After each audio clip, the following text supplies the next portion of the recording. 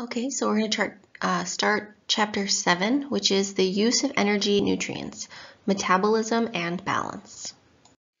So metabolism is defined as the continuous processes whereby living organisms and cells convert nutrients into energy, body structure, and waste and they are controlled by two major reactions in metabolic activity.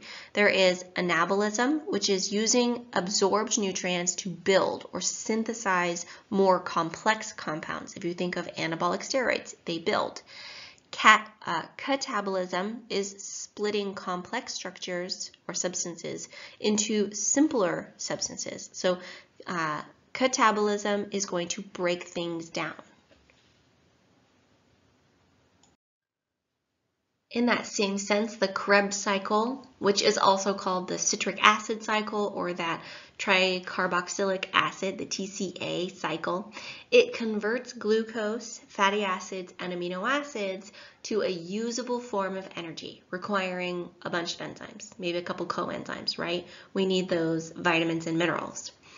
The anabolic processes require energy. So in order to build anything, build muscle or um, build, you know, if you heal tissue or, uh, you know, grow a baby, um, you need the energy. And then hormones are kind of like the messengers that will produce I'm sorry, they are produced by a group of cells and they either stimulate or retard the functions of other cells. Basically, it means that just like uh, medications, they don't actually uh, make your body do things they wouldn't normally do.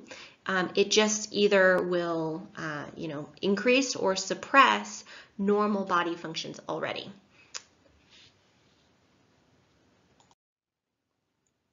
This is in your book on page 122. This is figure 7.1. Um, this is kind of that breakdown of how we get uh, you know, proteins, which are broken down into amino acids. Now, 50% of the amino acids minus nitrogen can turn into that pyruvate. 50% of the amino acids uh, can also go to that acetyl-CoA, um, which will contribute to the Krebs cycle, right? Even though the book says it's not calling it the Krebs cycle anymore, it's just going to uh, always call it. I, I, wish the publisher weren't so lazy and would just replace Krebs cycle with TCA cycle every time if it says it's going to do that, but I guess not. Carbohydrates, this is the straight path, right? It's going to go from the carbohydrate, going to be broken down into glucose, uh, which can then be turned into pyruvate, which of course pyruvate can go back into uh, glycogen, right? We can store that glycogen uh, or pyruvate can go down to acetyl-CoA, which goes into the TCA cycle, which, uh, you know, the byproducts of the TCA cycle are going to be energy, H2O or water, and CO2, which is carbon dioxide. Same thing happens with fats. So about 5% of the fat can be turned into glycerol, right? And that glycerol is um, um, part of the triglycerides, right? And then the other 95% are going to get turned into fatty acids.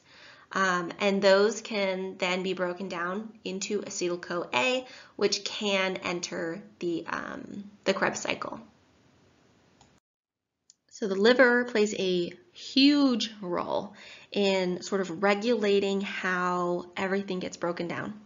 And so it regulates uh, by controlling the kinds and the quantities of the nutrients that are going into the bloodstream. So as we saw in uh, chapter three, when we were talking about digestion, how the uh, everything goes into the liver from the um, the small intestine. It travels through the portal vein into the liver, and the liver sort of figures out what gets to stay and what doesn't get to stay. It's going to detoxify things, right? So it's going to break things down for us, um, like medications. Um, that's a good thing. It breaks down alcohol, which is a good thing, um, although it might not be good for the liver.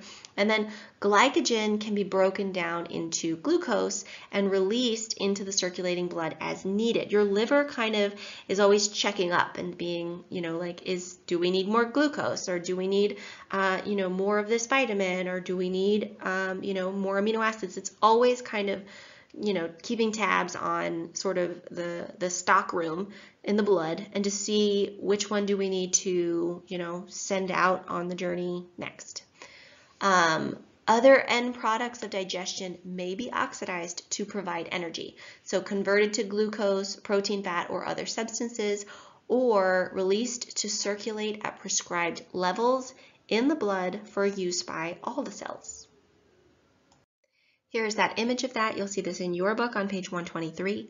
So you eat the food, it goes into the small intestine. You know, it has to make its way to the small intestine, right? The small intestine enzymes um, break things down, and then you have glucose, right? Which is good. That's what we want. Now, all this glucose is in the bloodstream right after we eat. We have a lot of it. So then our pancreas, seeing that, hey, there's a bunch of glucose in this bloodstream, is going to start pumping out insulin, which is what we need when blood glucose is high, right?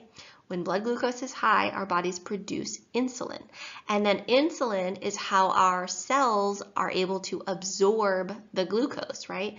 But if it doesn't get absorbed, it's going to pass back through the liver, and the liver is going to kind of help to filter some of that out.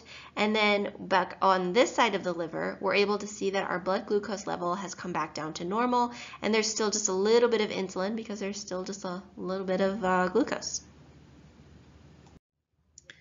The kidney plays a role in metabolism as well. So it's going to remove the waste products from the blood. Um, along with the liver, it's going to control those levels of the nutrient that's in the blood. So it basically filters out um, the things that you know we need to get rid of and it will filter and reabsorb things it still needs depending on what the body needs. So if blood glucose is low then the kidneys aren't going to be filtering out glucose right? Because the body still needs it. If blood glucose is high then it will help to filter out some of that glucose. So it's going to filter things like glucose amino acids vitamins water and other minerals and in doing that, it's going to help to maintain nutrient balance. Okay, so carbohydrates are broken down into monosaccharides. Those are then, you know, absorbed uh, and transported through that portal vein, the portal vein being like a pretty important vein from the small intestine to the liver. It get traveled to the liver for glycogenesis, right? Glycogenesis is where we basically create glycogen, right? It's a process where we use sugars like fructose, galactose, sorbitol, and xylitol, and we store them as glycogen. Those are our, you know, main sources of, of uh, energy storage. The liver is going to closely monitor that glucose level in the bloodstream, right? So if someone is hyperglycemic, they have high blood, blood glucose or high blood sugar. And if they're hypoglycemic, hypoglycemia, they have low blood glucose. Then we come into something called the glycemic index. Now, a glycemic index is just going to measure the effect that different carbohydrate foods have on blood glucose level. And they do so through um, like how quickly we can break down the glucose or the whatever the carbohydrate is and then that it can be absorbed. So if it's slow maybe it is bound to uh, fiber. Fiber is going to slow down that absorption. It's going to be lower on the glycemic index. But if it's broken down super easily then it's going to be high on the glycemic index. So uh, something like watermelon is not very fibrous. It has a lot of water, which is very easy to break down uh, because we don't bother breaking down water cells themselves. And then um, it's very easy to break down watermelon. Um, but something more like a, like a sweet potato, it also has uh, glucose, but it's really bound tight by fiber. So it's not going to be very high on the glycemic index.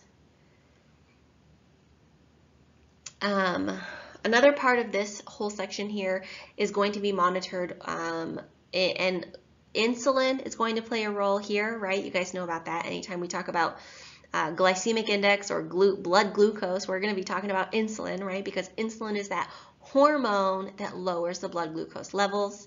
And then the glycemic in, the glycemic effect goes along with this part because it is the rate at which glucose rises in the bloodstream after a particular uh, food is eaten. So if we eat something that is high on that glycemic index, we're going to say that there is a glycemic effect. And that means that our blood sugar is going to spike up super high quickly after we eat it. Um, if it is low on the glycemic index, then it's going to have less of a glycemic effect and our blood sugar isn't going to shoot up super high. It's going to go up, of course, because it has, it has glucose, but it's going to be more steady and stable. And then, of course, we have glucogenesis, which is the process of synthesizing glucose from non-carbohydrate sources. Um, red blood cells and cells in the heart, brain, and renal medulla will prefer glucose as their energy source. Basically, every cell produce or prefers glucose, but most importantly, red blood cells and then cells in the heart, brain, well, the renal medulla is pretty close to the brain. You don't have to worry about that part, just the heart and the brain. As far as protein metabolism goes, um, those amino acids that are broken down in the small intestine will be transported to the liver via the portal vein, just like the carbs are. Um, there is a constant dynamic state between anabolism and catabolism, and it's going to be controlled by the liver and by hormones. Those hormones, of course, are insulin, thyroxine, and growth hormone stimulant. Um, I'm sorry, growth hormone will stimulate protein synthesis. So those three, insulin, thyroxine, and growth hormone, are going to either promote or they're going to retard uh, protein synthesis. And then your book also goes into this again. Uh, anabolism is going to utilize that amino acid pool, which there's about 70 grams of amino acids at any given time in the liver. Um, and it's going to do so to maintain equilibrium. Now, your, like it says in that video I am sure you guys watched, um, your liver doesn't kind of hold on to things if it's not already ready to go, like we don't have all of the amino acids necessary in order to make it the protein, um, we're not going to be able to make the protein. It's not like, oh, well, you know, this month I eat phenylalanine, but next month I'll eat tryptophan, right? It doesn't work that way. You need a kind of a good assortment of the amino acids at any given time in order to be able to kind of quickly, ready to go, uh, synthesize those proteins as soon as they're needed, okay? Otherwise, you don't make those proteins. And then of the catabolism, that also occurs in the liver, muscle, and kidney, and it creates uh, urea as a waste product, right? Because we know that when we break down proteins, um, that nitrogen is given off, which is turned into ammonia, which is bad for us, which is turned into urea, which is how we get rid of it. So then uh, where are lipids broken down? Well, they're broken down in the small intestine, but who, who regulates the, the uh, metabolism of the fats? You guessed it, the liver. So lipogenesis is going to convert glucose to fat. And then lipolysis, of course, anytime you see the word lysis, it means break down, is going to break down fat. Um, and as we learned from Leo the Lion says GER, the oxidation process of hydrolyzing triglycerides to enter the Krebs cycle for energy production. And if you flip back to page 122, you'll remember that fats are broken down into glycerol and fatty acids, and those fatty acids are turned into acetyl-CoA. Carbohydrates are going to play a pretty big role in heavy exercise when the muscle's oxygen supply is limited. So in this, of course, our, our body uses carbohydrates. It stores the glycogen, right? Um, and when you have plenty of oxygen in your system, you can use your fat to break down um, this kind of stuff.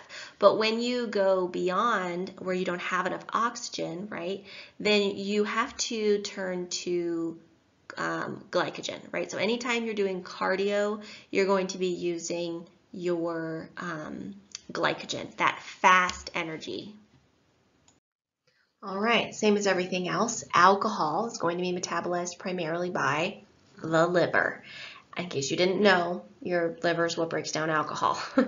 um, when you consume a lot of alcohol, it, it, when it's in excessive amounts, alcohol is actually going to be a toxin for your liver. It's going to damage your liver. So, of course, people who have, you know, liver disease, um, if they were ever an alcoholic, that's going to play a role in that, right? Alcohol has a pretty marked effect on blood pressure and the risk of hypertension. So people who consume alcohol um, in excessive amounts, often without moderation, they have higher um, blood pressure usually, um, and they have that risk of hypertension. The dietary guidelines advise moderation in alcohol consumption. So for this, this means one drink a day for women and no more than two drinks a day for men, right? This is considered moderation.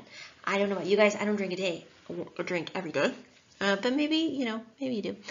Um, so a drink is going to be defined as either 12 ounces of a regular beer, 5 ounces of wine, or 1.5 ounces of an 80 proof distilled spirit. Okay, so as we've already talked about, anytime you consume too much of any nutrient, it's going to result in excess energy being stored as adipose tissue, right? Everything can get turned into fat uh, because our body wants to store as much uh, calorie as it can in order to make sure we survive the next time we can eat. Fat is going to be a good source. Well, actually, okay, so protein can be turned into energy, but it's a really terrible source. Fat is a good source of energy, but carbohydrates are the preferred uh, fuel. They are the easiest to break down. They are the most straightforward. Uh, we can break them down directly into glucose without having to you know, do any little extra steps. So carbs are the way to go. Um, and also, our body can't break down a bunch of fat without having some side effects like ketoacidosis, hyperlipidemia, and that accumulation of fat in our liver. So it kind of just sort of tries to not do that. um, Catabolism of all classes of foodstuff is going to involve oxidation, right? So remember Leo the lion um, through the TCA cycle, which is going to produce energy, right? So everything gets broken down into acetyl-CoA. Acetyl-CoA enters the uh, TCA cycle. It gets turned into adenosine triphosphate. Um, and then in whenever we need energy, we like break off a little phosphate and that's going to produce energy. We get, it turns into adenosine diphosphate, uh, and then it kind of gets reloaded back into the TCA cycle and gets the phosphate reattached. Anyway, um, so each nutrient has a very specific function. All of the nutrients have to be present simultaneously for optimal benefits. So uh, carbohydrates can be used in forming non-essential amino acids, right? We have to use that energy in order to make our protein synthesis. Uh, proteins contribute to the synthesis of some lipids, right? Like lipoproteins. We need proteins in order to transport fats through our, our bloodstream. And then lipids don't contribute significantly to the synthesis of amino acids. Glycerol from triglycerides can be used for synthesis of carbohydrates, right? So we can make carbohydrates, or, well, not carbohydrates, but we can make glucose from uh, the glycerol in a triglyceride. So everything has a very uh, harmonious relationship with everything else. You have to have all of it working together. You can't get rid of any one nutrient by itself. And your book says to go to uh, figure 7.3 down at the bottom of page 125. You'll see how um, everything just end up getting stored as post issue, unfortunately. Here's how this works. And of course, you're, you're already very familiar with these, but you eat a carbohydrate that turns into glucose, uh, and then glycogenesis is where it turns it into uh, glycogen, and it's going to refill the liver and muscle needs. Anytime you have extra, it goes into adipose tissue. Fatty acids, they have lipogenesis, right, where we create triglycerides. But anytime you have extra, gets stored as adipose tissue. You have amino acids, they go through gluconeogenesis in order to make glucose, and then it can be turned into either glycogen or triglycerides. Any extra, of course, goes into adipose tissue. Okay, so a kilocalorie is going to be uh, determined by the amount of heat that is required to increase the temperature of one kilogram of water one degree Celsius. So, you know, if we were living in any other country in the world, these would be very common terms for you. But one uh, kilogram um, of water, one degree Celsius. That is the amount of energy or heat that is required in order to become a kilocalorie. Carbohydrates, fats, proteins, and even alcohol provide energy, right? Those are our macronutrients. They are nutrient providing.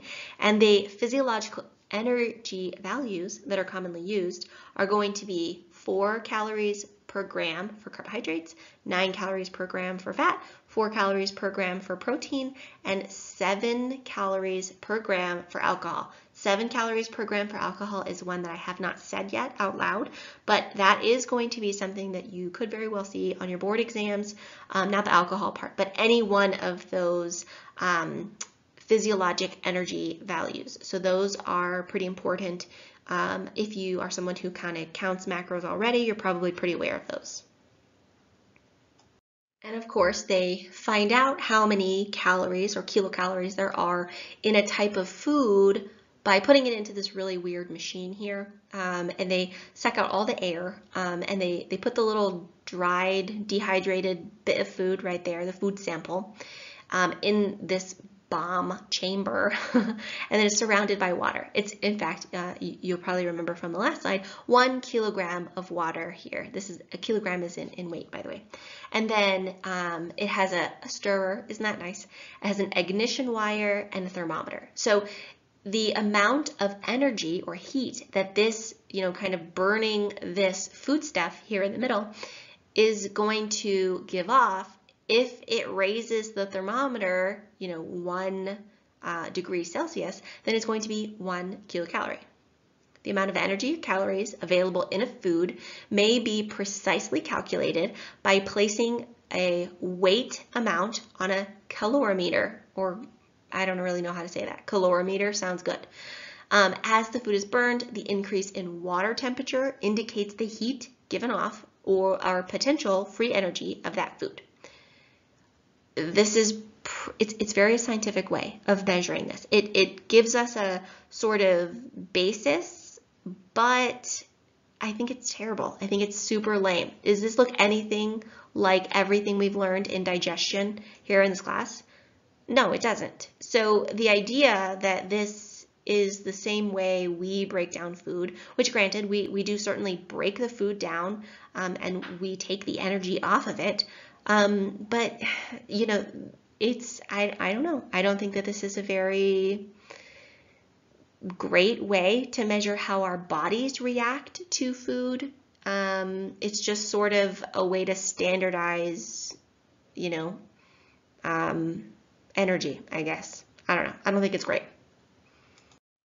Okay, so I was talking about this in the last slide actually, but ATP is one of the byproducts of, well, it's, it's not like a byproduct, it is the product of the TCA cycle or the Krebs cycle, right? We produce adenosine triphosphate um, and it is the instant source of cellular energy for mechanical work, transport of nutrients and waste products, and synthesis of chemical compounds generated from the Krebs cycle or the TCA cycle, right? Um, they're also called high energy phosphate compounds. Uh, and your book says that they are the currency or money that the body uses for energy. So because we can use ATP without oxygen, this classification is considered anaerobic.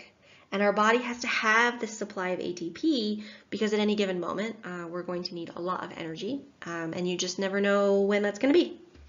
Well, your body doesn't anyway. Moving on to BMR, which or basal metabolic rate. So energy uh, or your BMI is going to be defined as the energy required for involuntary physiologic functions to maintain life. This is going to include respiration, circulation, maintenance of muscle tone, and body temperature. So you just, you know, being alive is how many calories you're going to burn in a day. It gets measured um, in a clinical setting using indirect calorimetry. So it, uh, we're going to talk about that in a minute. Um, and the amount of energy required when the body is in a post-absorptive state. So this is anywhere from 12 to 15 hours after you've eaten something um, is kind of how your body functions there. Whenever you're you've eaten within like the last 12 hours, um, your body's still digesting that food and digestion requires energy. So uh, your body isn't kind of at its lowest. So your BMR, your basal metabolic rate, is its lowest whenever you're laying down, right? So you're not using any energy to hold yourself up. You are awake and rested. Uh, relaxed means you're not moving around, you're not restless. Um, you're in a comfortable environment, right? So you're not having to like, you know, hold your head up or, or you're not really stressed out or anything like that. And you haven't eaten within the last 12 to 15 hours. That's when it's at its lowest. Okay, so some factors that are going to affect your BMR are going to be sleep. So if you're someone who sleeps 10 hours a day over someone who sleeps 6 hours a day, the 10 hour a day person is probably going to have a lower BMR than the person who sleeps less, right? Because if you're up and moving around, you need less or you need more energy. Um, that's not saying that's better for you though. That's completely separate thing the age of the person, so the older we get, the lower our BMR. Uh, pregnancy and lactation, so in pregnancy and lactation, you have a higher BMR. Uh, surface area, so the more surface area there is on an individual, so if they're like really tall or they're really wide, um, then they have a greater surface area, they have a higher BMR the state of health. So someone who, it just depends on the type of illness and like how that's affecting their current state, uh, but usually illness will increase your BMR. And then body composition uh, and gender. So, you know, men typically have a higher BMR than women, although they're also typically larger and they have more muscle mass, um, more, I'm sorry, more, more lean muscle mass, like muscle, because body composition plays a big role. So the more dense muscle mass you have, like muscle, is going to be a higher BMR than someone who is primarily adipose tissue. Um, endocrine glands, so the chemical messengers in your body, are going to um, tell your body or your BMR what it should be doing. So those are going to control a lot of that. Temperature, so if you live somewhere that is cold, then you're going to have a slightly uh, higher BMR than someone who lives in a warmer climate. And then fasting and starvation are going to play uh, a pretty big role in your BMR. Then we move into basal energy expenditure. So basal energy expenditure are the calories necessary to maintain the basal metabolic rate. So the calories that you have to eat in order to, uh, you know, stay alive plus additional calories needed for thermic effect, right? So thermic effect has to, well, we're gonna talk about that in a second, voluntary activities and increased need from uh, catabolic processes.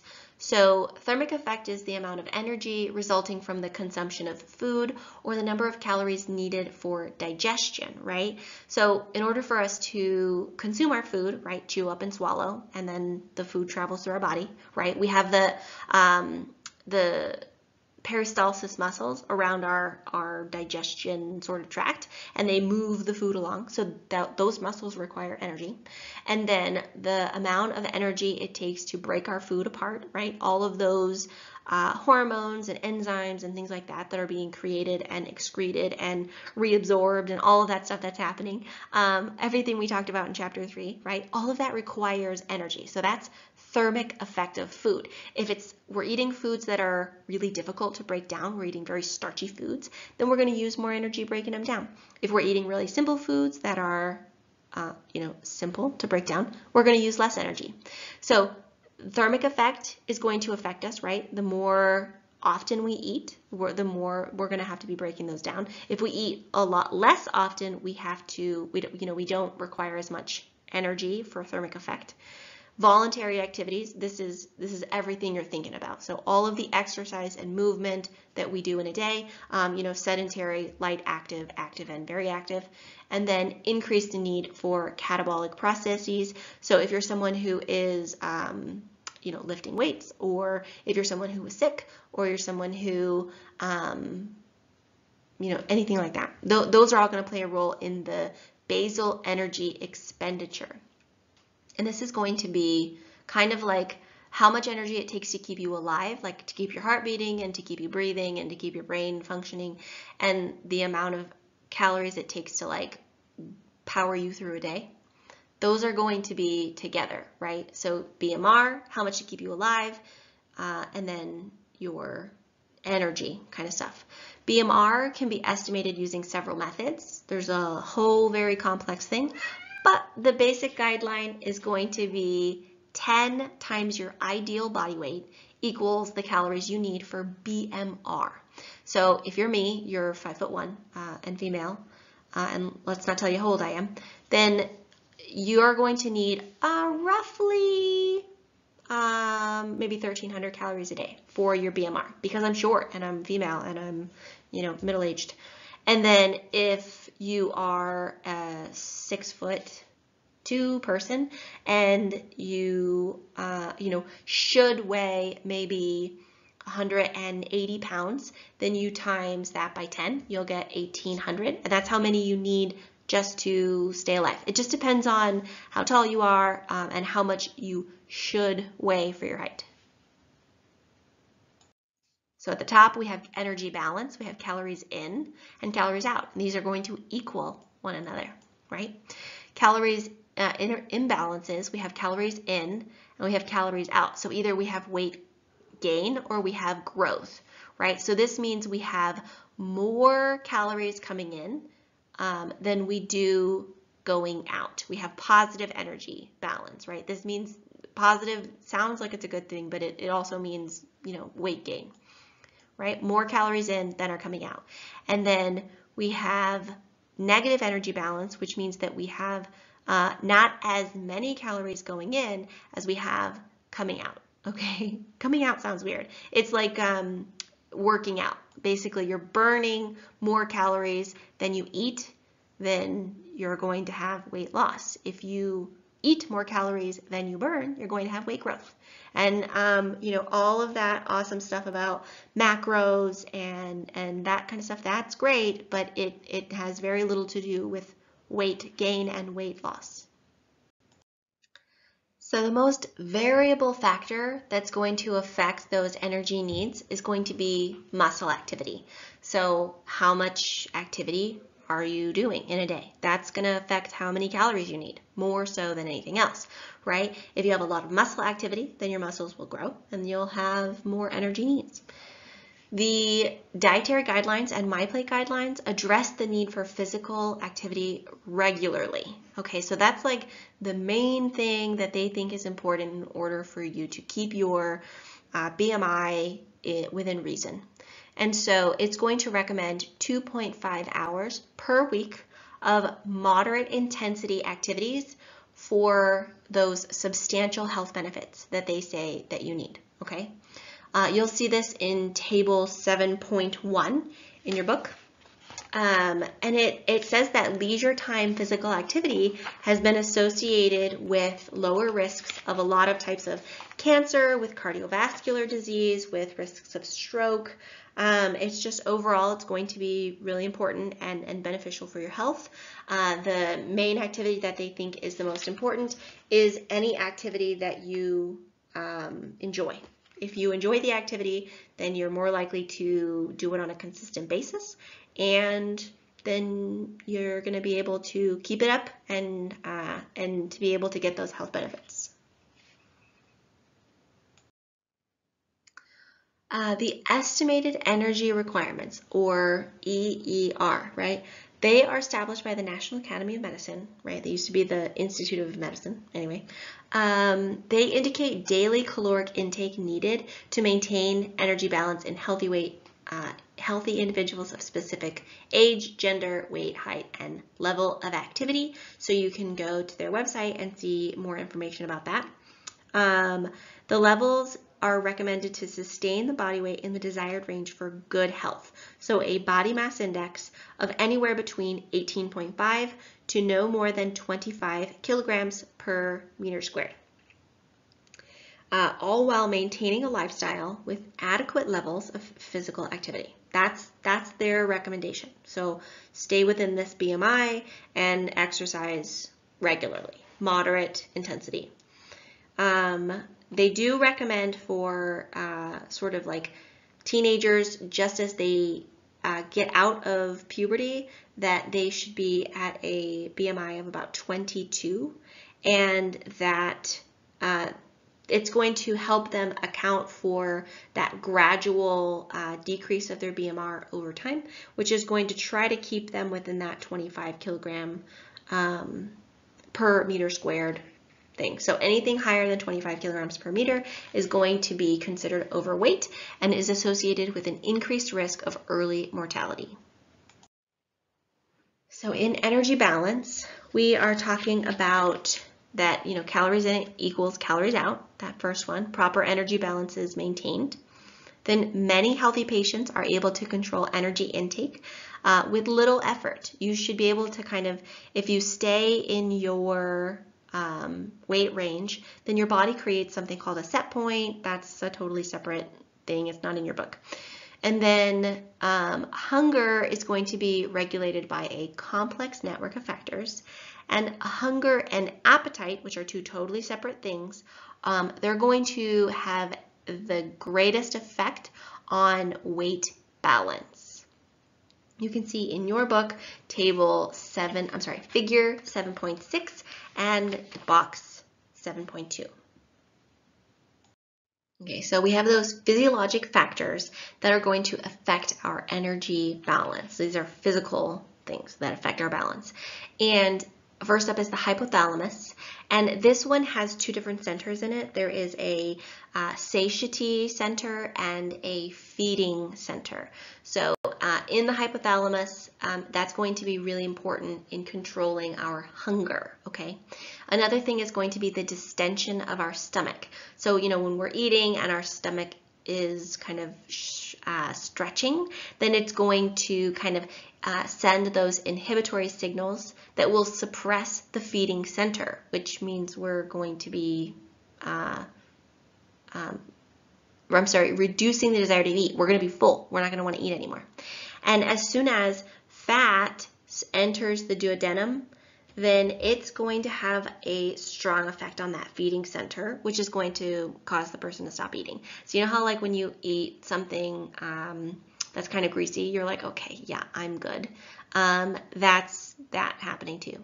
And then hormonal secretions from uh, uh, ghrelin, leptin, and serotonin. Uh, ghrelin and leptin are pretty uh, important in this, though they are uh, uh, two hormones that are produced um, in the GI tract that are going to help produce, uh, help to, you know, sort of control this or regulate this.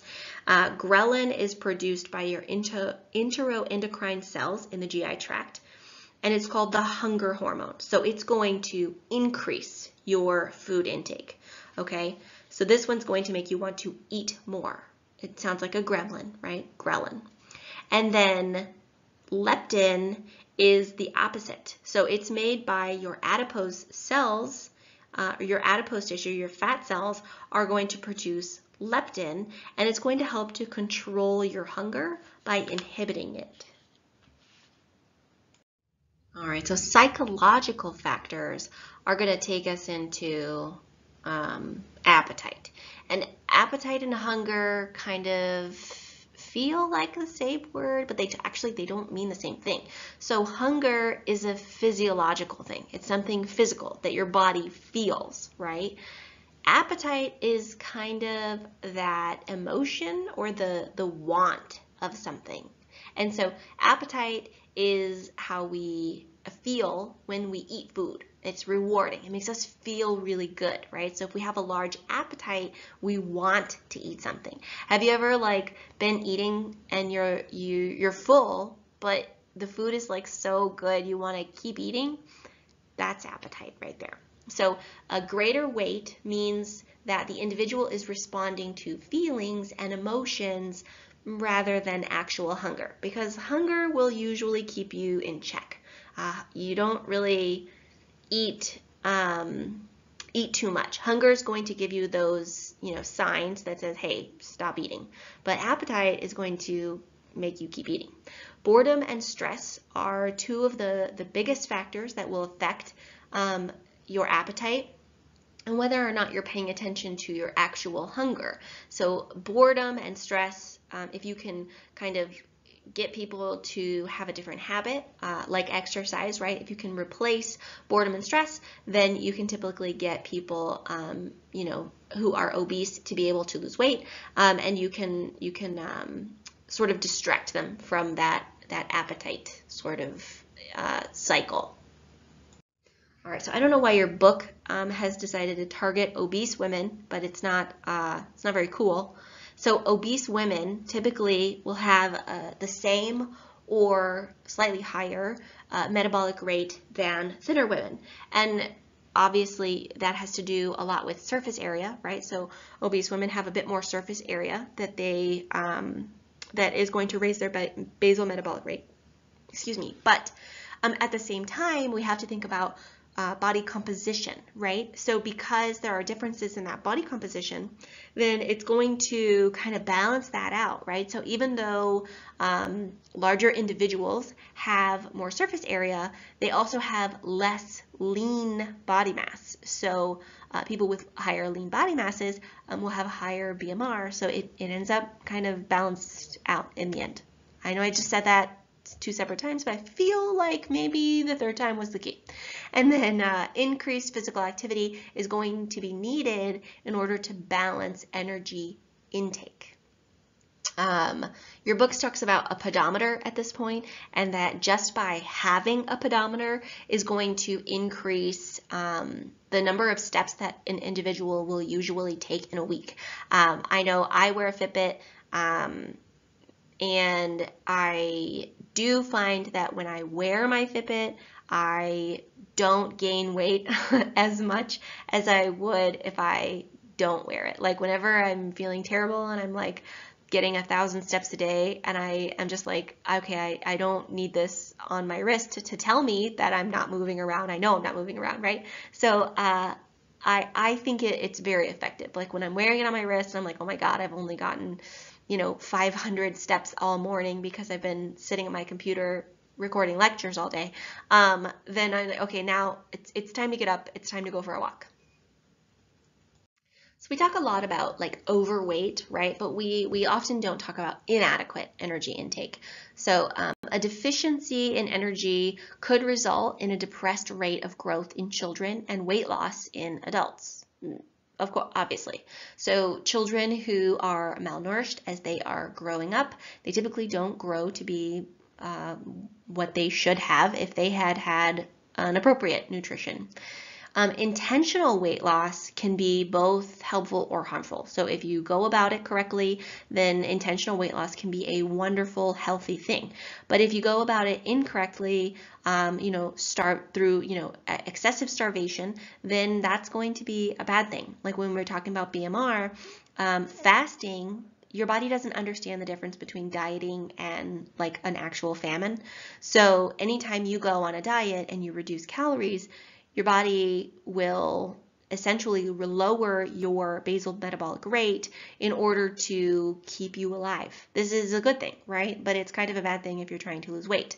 So um, you have to be very careful about that. If you go too low on your calorie intake and you harm your basal metabolic rate, and then of course you decide to heck with this diet, and you start eating again, well, guess what? Your BMR is lower now. So it's very easy to gain the weight again.